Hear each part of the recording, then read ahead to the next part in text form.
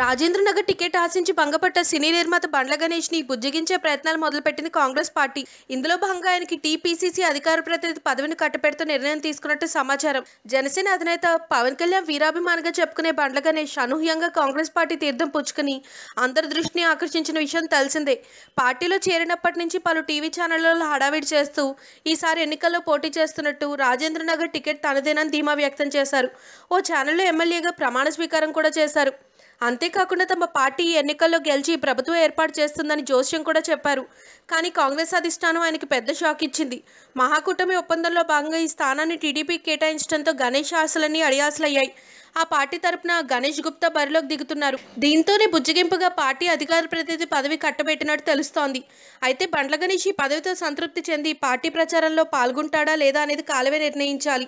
మరోవైపు Bandla Ganesh over action కొంపముచ్చిందన్న ప్రచారం అందుకుంది. ఆయన కాంగ్రెస్ పార్టీలో చేరిన తర్వాత చేసిన హడావిడి టికెట్ రాకుండా చేసిందని ఆయన అత్యుత్సాహమే కొంపముంచిందని రాజకీయ విశ్లేషకులు అభిప్రాయపడుతున్నారు. ప్రమాణ స్వీకారానికి సంబంధించిన వీడియోలు ఇంటర్వ్యూలో ఆయన చేసిన కొన్ని కమెంట్లు విపరీతంగా వైరల్ కావటం అతని పట్ల అధిష్టానం వాతావరణానికి ప్రతికూల సంకేతాలు వెళ్ళాయని తెలుస్తోంది.